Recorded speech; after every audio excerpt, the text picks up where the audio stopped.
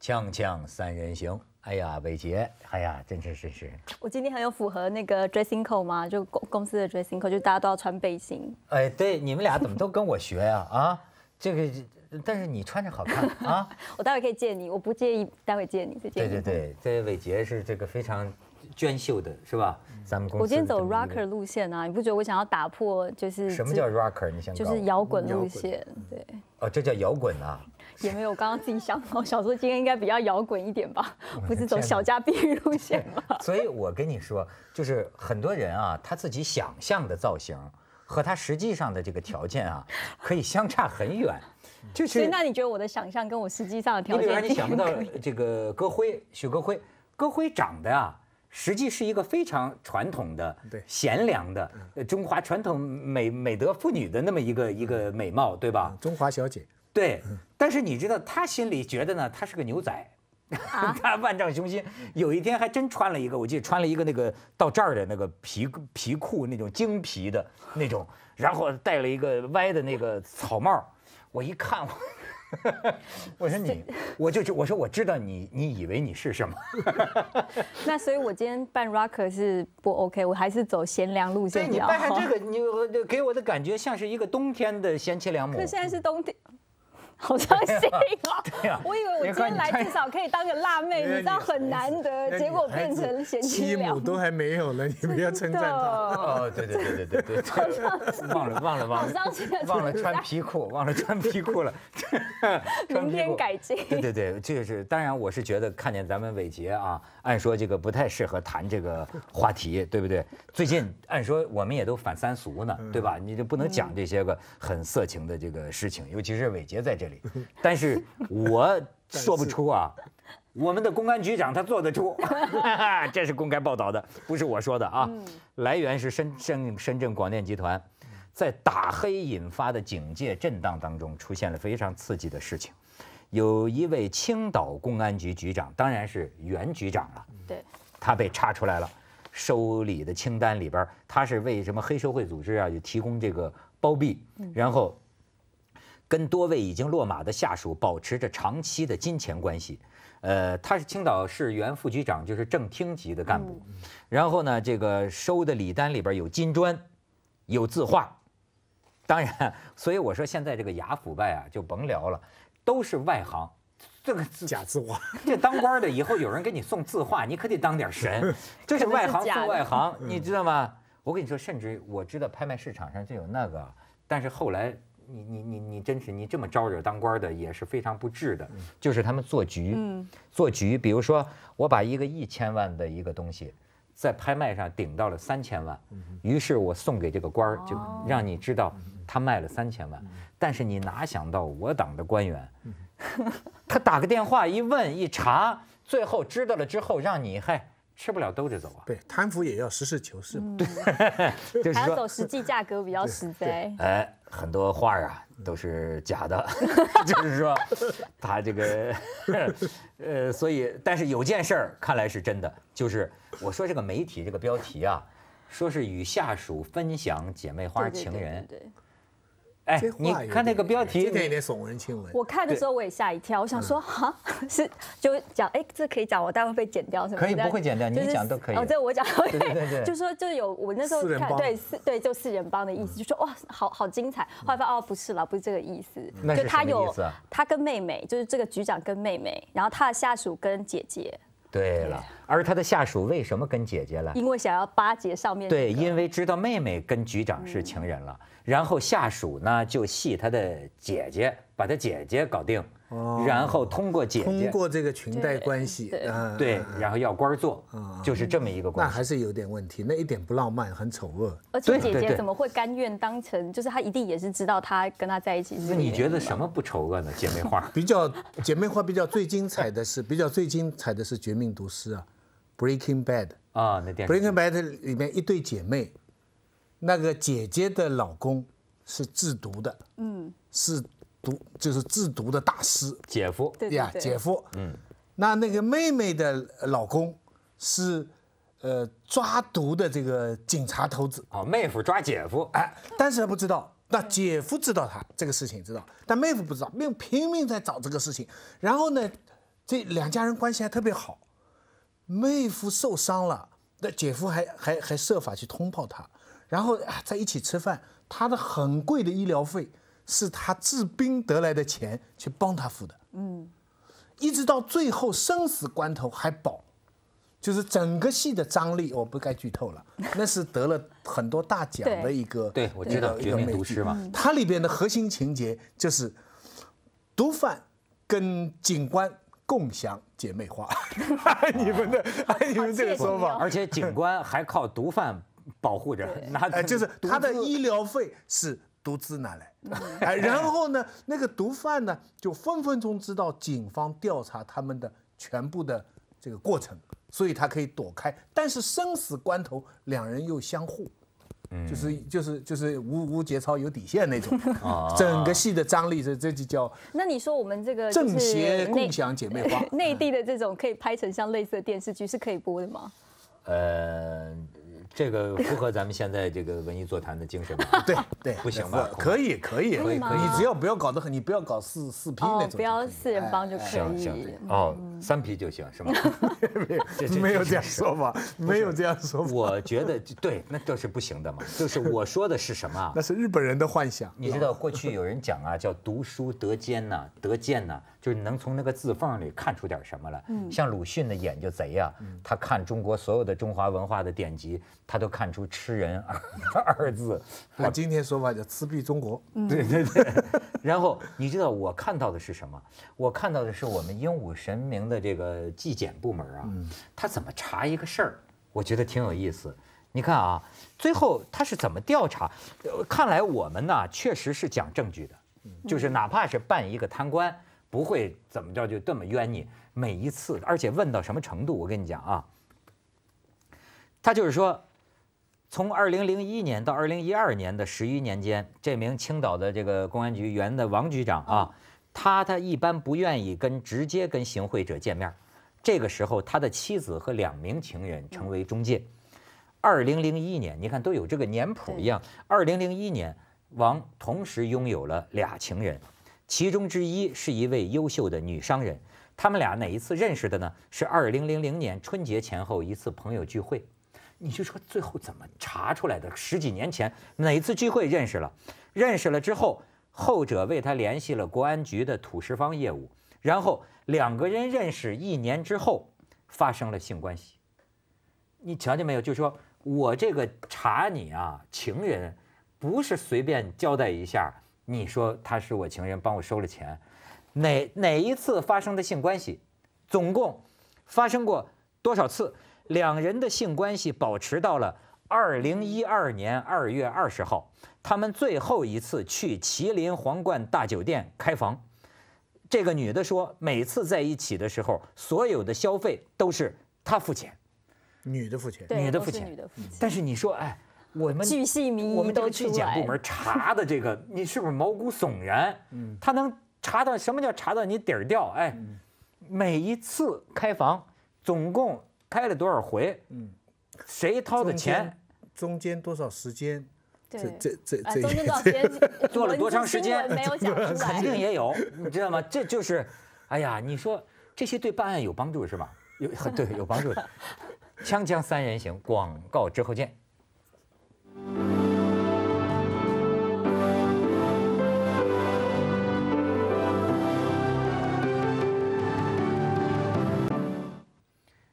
哎，伟杰，听了我们大陆的这新鲜事儿，你有何感想啊？其实我觉得好像在查案的时候都会有这样子，就是一定要把它查得很细，因为你必须要把它所有的内容都都弄出来。但是我觉得有时候是很尴尬，比如说之前台湾就有个新闻说，有一个女的检察官为了要查一个色情案件还是什么的，就一天看三十七部 A 片。然后又或者女的检察女的检察官，然后又或者是在那个之前不是有一个什么富二富二代的男子迷奸很多女星吗？还是什么之类的吗？那也是啊，就是所有的人要再把那个影片再看一遍。那其实是我觉得，如果是女检察官对他们来说，哇，真的是也很惊艳。你想说看一部 A 片的时间，你要一天把它看三七部，也是一件了不起的事情。啊，真是，看看女女同性恋的吧？这我不知道，我回家帮你调查一下，我再回答你。在法庭上放吗？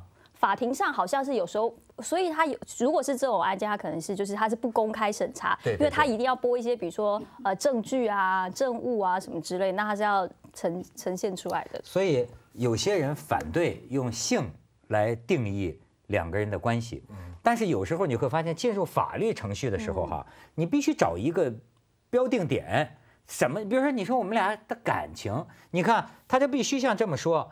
你看这个这个宋氏姐妹，就是这个局长和分局长，这这姐妹还是宋氏姐妹，宋氏姐妹，在一次饭局上认识了这个分局长，这个分分分分局长就弄这姐姐嘛，然后在认识两三个月后，这个分局长就跟姐姐发生了性关系。你看咱们这个调查出来的都是你你发生了性关系最后，他们都不是夫妻是吧？都是情人。都是情人，都是情人所以说他们认定男女朋友关系是以有没有发生性行为来算吗？就说如果是这样子算的话，我觉得是吧？不这这在实拿脏，不是今天要拿 双。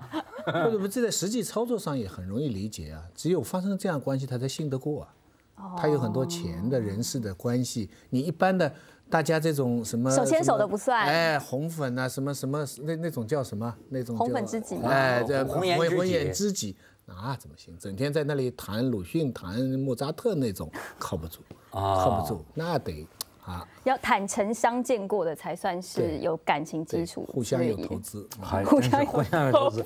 好，徐老师，我再给你看看一投资，现在竟有这个新闻，北戴河听说过吧？嗯，北戴河供水总公司的一个总经理，他叫马超群，马超群家里就是超出来什么呢？马群超吧？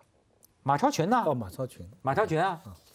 哎，我跟你说，今年你说姓马的出事儿，本命年不马超群马马超群出事儿吧？然后有人说呀，马超群的家属说，马超群当然家家属现在是为他鸣冤，家属说马超群是遭到了打击报复，为什么呢？因为马超群准备检举揭发秦皇岛城管局局长马壮贪污腐败。俩马，两我就匹马说今天互马年，我跟他们好多人讲过，你不要不信这个，还好这一集不是那个马老师来录哦，他听说他就走了，这样他就走了。你知道，在马超群家，哎，二零一二年也不发现，二零一三年也不发现，偏偏二零一四年就发现了。所以明年的属羊就要小心一点，是这个意思吗？同理可证。是不是一吨的人民币？是是不是这个？他不，他还不是那个，他是发现了三十七公斤的黄金，呃，现金是一亿多元，你可以看看这个图片。对呀、对那就是现金就是一强吨嘛。对，就现金一亿多元，嗯啊，就是他啊，这位干部这个非常超群，听说是给这个中直机关的，北戴河那边，你想这个中央直属机关供水啊，他都敢索贿。你再这是是再看下边，你看这是他一，你看这种面相一般都是成功人士，你再看，啊，这就是藏钱的，实际是他妈的住的呃地方，嗯，就是房子，但是而且你再看下边啊，发现了六十七个，这是清单呐、你看这个黄金五百克，五百克，五百克，就是这个这个这个呃金条啊，然后呢，主要是还发现了六十七个那套房产的手续，套房，嗯，六十七套房产的手续。你再往下看，这是他老娘，这是他老娘，他老娘还专门开新闻发布会，他老娘就开始哭诉，说不是我儿子什么贪污的，这是我六十，老公赚给我的。她老公已经过世了。对，那说她老公，其实她老公好像是个行医是个大。大夫，就是一个大夫而已。哎，她说我老公会倒腾东西，什么都倒腾，房子、黄金倒倒倒倒倒，家倒这么多钱，对吧？大家说不是我儿子弄的，她在这儿哭，而且说她儿子是打击报复，嗯对，那那那一亿钱多多少你知道吧？多少？他大概应该是在呃，我这也是 Breaking Bad 里面看，他那个八八千万还是九千万美金啊？嗯，他那个美金一百块嘛，跟我们的一百块，如果按汇率折算下来，应该差不多，就是一米高，然后是一个差不多两米的大床，就是说你两个男人哈、可以趴睡在上面，他就在一米高，整整这么一叠钱。他好像被抓到的时候去查，他们家是有一个一整片的，就是现金墙。然后据说他们家的人啊，要出门的时候一定要有一个人在家，不可以每个人都出门，因为要负责守着那个守着家里的那面墙跟所有藏钱的地方。对，那钱都长毛了。都发霉了。我们那天在讲说这个经济学啊，他们就说这个就是中国这种查贪腐都有个叫贪官经济学，因为贪官的钱不能随便拿出去用嘛，都我们看到都是藏藏在家里，藏在家里，所以这些钱没有流出来，对于中国经济也是好事，因为太多的现金流入，就那个通货膨胀就会加深，我们的那个 CPI 就不会这么低，所以要感谢他们没有把钱拿出来用。他们这个数目是能到引发通货膨胀。真的，你看 随便查一个这样子一个地方的小官，就查到一亿多的那个现金。我觉得这种现金啊，应该应该。弄一种繁复展览馆之类，我跟你讲数字哈，你没感觉的，一定要看到实物，数量，就是有这么一堆的钱堆在那里，这这个感觉一亿听上去，你看现在我们整天讲什么马云啊什么什么多少亿多少亿，不觉得现金，哎呦一亿啊，这个税在上面。哪怕滚一下也 也这个啊！哎，你知道真的有一对那个河南的夫妻就是睡在上面，嗯，他们是中了彩票，嗯，然后呢，你知道，当然人家是合法劳动，不没劳动，就是买彩票中了，中了这夫妻俩呀，跟有些贪官的表现一样，越有钱越低调，嗯。整天两口子也不享受，就躺在床上，他就是享受，躺在这个他中的这个钱上面，然后呢，平常每个星期天回娘家呀，带两只鸡，发了财之后呢。带一只鸡，就怕人家看出来他们富了。嗯，就平常要是吃的好啊，平常就是这顿饭吃了半斤猪肉啊，现在就改吃二两，就好像要给外界看我们越活越惨了。这个你说他为了什么呢？两两，但是两两两口子最大的享受就是躺在这床上睡。不过这是一个现实问题啊，咱们提。这整个我又要讲那个 Breaking Bad，就那绝命毒师啊，它里边那个核心情节就是他钱赚到了，但这个钱怎么洗呀？嗯，怎么花？不是不花根本不谈了，就你怎么把它变成合法？对，你要想一个很复杂的一个程序，把这个钱变得你可以有这个钱，因为你不可以有这个钱，你就不能花，所以车也不能换，衣服也不能换，什么东西都不能动，是非常苦啊！我我们没钱的人就想想人家有钱的人的苦。这样咱们心里也怎么样？没没没没没没错啊，他们 就我跟你说，埋埋钱的地方都多着呢。可是我以前念书的时候，在国外念书的时候，我们每次就是我们有很多的内地的同学啊，哪里的同学，然后他们就他们来一来就会买 买车子啊，买什么之类的，然后他们就说他们钱都是直接带去，就是带现金出国，然后钱都塞在枕头下或床底下，所以这是一个。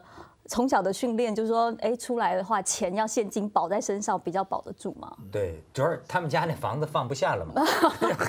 锵锵三人行，广告之后见。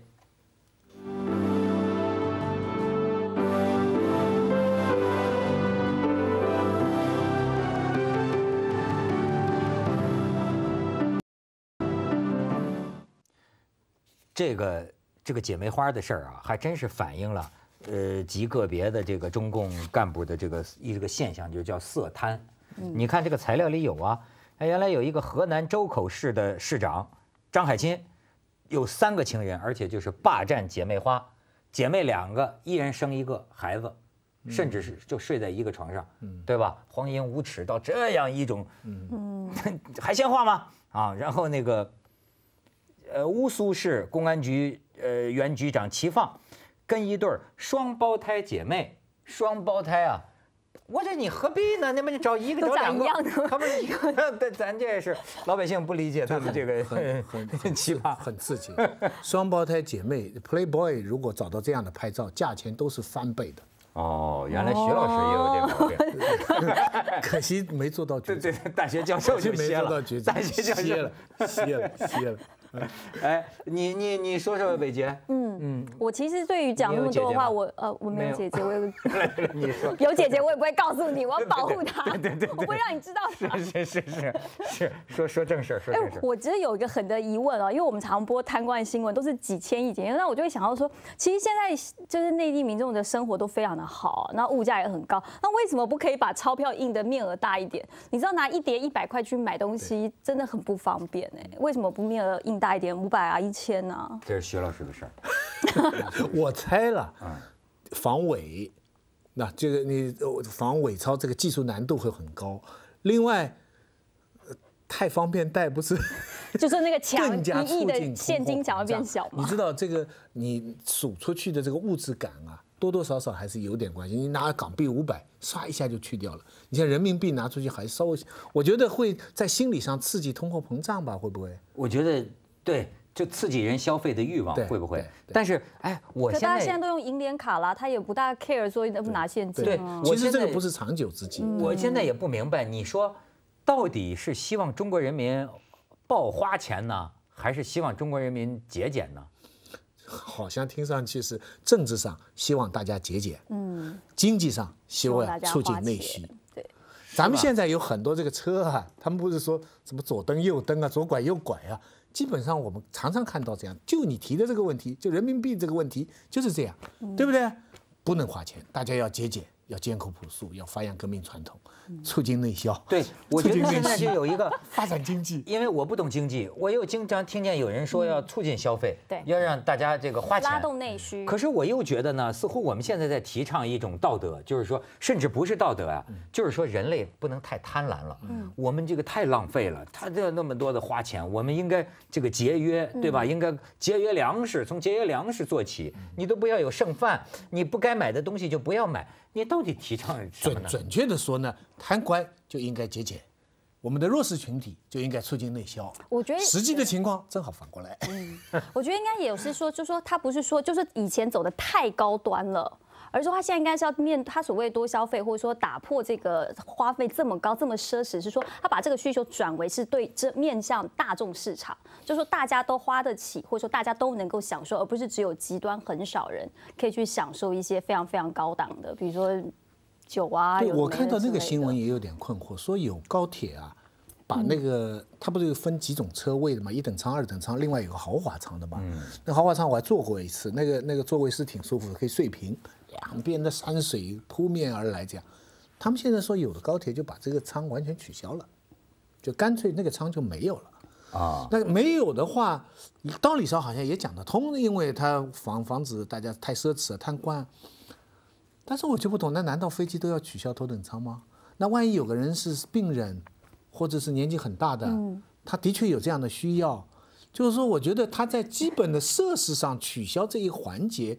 这是一个不是我看到的真情，不是取消啊，甚至还巧立名目，弄出一个特级头等舱，什么高级头等舱、高级公务舱、高级经济舱，都照着那个贵的卖钱，你知道吗？实际上就是原来的公务舱，就是普通舱。那你说？高